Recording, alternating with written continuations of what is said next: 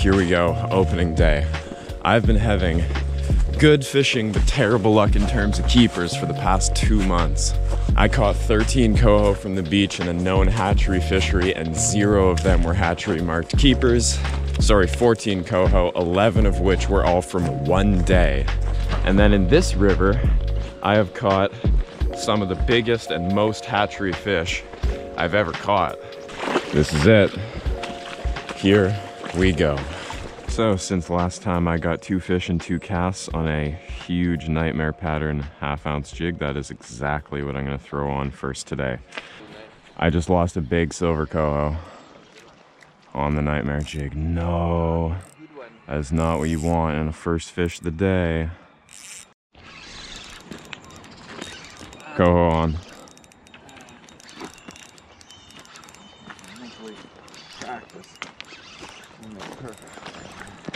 This one. Not giant, he's good. Oh, he's pretty good. Pretty good. He's silver. Is this our hatchery? He's not bad. Okay, right now, Got him. Not bad at all. wild. Yep, Are sure it's not just poorly clipped? wild. Not a keeper, that's but that right there is a beautiful chrome coho that we are gonna get on his way.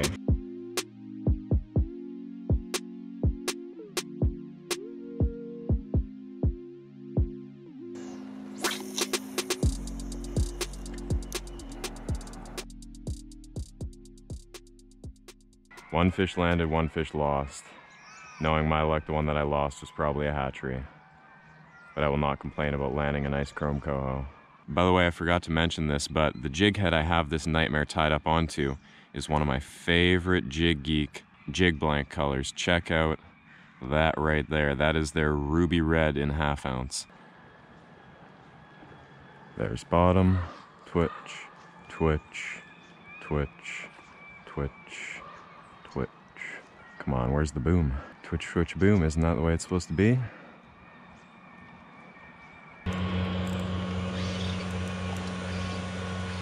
Go on here, just a little guy. Just a small one. No, very small. Very, very, very small. Very little. But if it's hatchery, I can keep it, so I may as well net it. That's going great. Let's just plop a little dude right in the net like that. It is hatchery. Why not? I'll keep it. There's a limit of two hatchery fish per day and no yearly limit on coho. So unless I am lucky enough to hook two big old hatcheries today, after this, which I doubt I will be, I am totally fine keeping one of my two daily limit fish as a small one because even though he's small, he'll be a very good eater. All right, little buddy's bled and cleaned. I'm actually totally happy with this. Fisheries want these jacks out of the river anyway, and uh, that is some good meat. Obviously not a whole lot of meat on Buddy, but the meat that is there is very, very, very tasty. That is a wild little jack. You can keep wild jacks. I don't know if he's below 35 centimeters. This one is wild, but there's a special provision for jacks up to 35 centimeters that you can keep wild or hatchery. And this one we measured very carefully is, don't laugh while I say that. That like I have No, to, no, I know, but that's, but when you laugh, it sounds like the opposite. no. You're literally laughing because of how much we were painstakingly measuring it.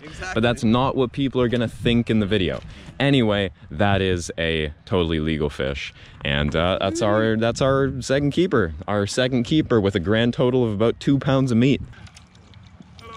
Hey, how's it going? Not bad. Hey there. All right, all right. Having any luck down this way? I'm chum hunting myself. Oh, First day they're open for retention, so yeah, yeah. He got a figured get a silver one for the two days ago. nice. Yeah. Do you guys mind if we uh, No, go elbow in? it. Yeah, because this looks nice and deep. Yeah. Have you fished here before? No, No, it's it's my our first first time. time. First time exploring down the river. Yeah, and that, that, I do know a good chum hole. I'll just Tell show us, it to you please here. tell us. Yeah. Special thanks to the patrons Dustin Hopkin, Henry Cole, and Chris Colley. If you want to go the extra mile and support my channel even more, the Patreon is the best way to do that. It is linked at the top of the description. Thank you very much for watching.